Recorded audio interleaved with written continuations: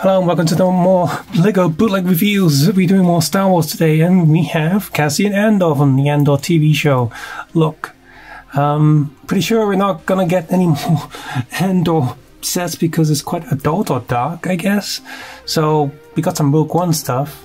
We got one Andor set, but that wasn't very good. That was possibly the most boring set that they could have chosen. A really boring Imperial transport ship thingy. It was yeah, but anyway, here's an Andor figure. Printed 360 degrees, looks pretty good, and good skin color too. Next up, it's supposed to be uh, Luthen, um, I guess. I mean, he's wearing a hood and stuff, but it doesn't quite look like him. It's a very detailed figure, a very nice figure, but uh, yeah, it doesn't look like him. Next up, we have the bad guy of the show, Zero Zero.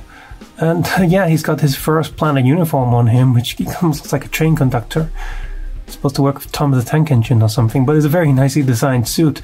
Unfortunately, he's got two faces on him, and the back just doesn't get covered up.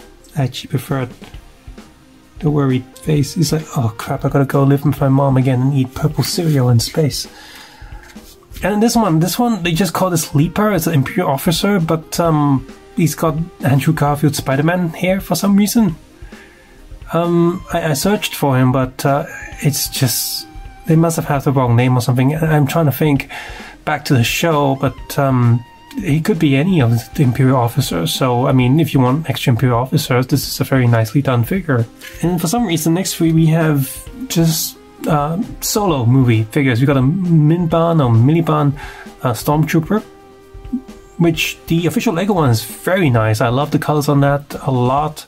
But the one we have, this bootleg one, is also really, really good with this cape. The coloring and the print on this is really good, and he has a proper, like, big blaster there. Generic face underneath. I mean, if you want more Milban Stormtroopers, this is a good way to get them in army build. We have a Milban like like soldier. So um, originally in the Lego set, you got a Han Solo just up in this disguise. Even though the face is so generic, it could be any Imperial officer. Doesn't necessarily have to be Han Solo uh, wearing this disguise. Again, 360 degree print, very good blaster, very good figure. And we have an officer, the same also for the solo movie, printed all the way around.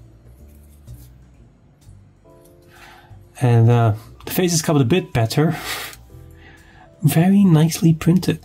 I like these a lot. And finally, we have a body bodybuilder stormtrooper. No, a dirtied up stormtrooper with all these armor pack things. I'm not a fan of these on like generic soldiers and stuff. These are okay for special characters, you know, such as heavier or bigger characters, but for generic ones, I prefer just regular torso. And it's good that it's still printed underneath. The details are very nice. So, you know, you got options there. Stormtroopers printed all the way around 360 degrees. Generic face underneath. But really cool face actually. But but yeah, if you want to army build like a dirty, desert, muddy sort of stormtroopers, I guess that's why they mixed Andor with Solo because they're from a similar time span or era, and they both have really dirtied up and roughed up stormtroopers, which mix in really well. This is a great way to army build dirty up stormtroopers, you know, see that a lot as well as Milban troopers and different Imperial officers. And the Andor figure is also pretty decent, as well as this guy here. So you got the three main figures from the official LEGO set if you don't want to get that ugly ship. They are also here. Pretty awesome set. Subscribe, just come below, guys. Take care, have a nice day. I'll see you guys soon. Bye bye now.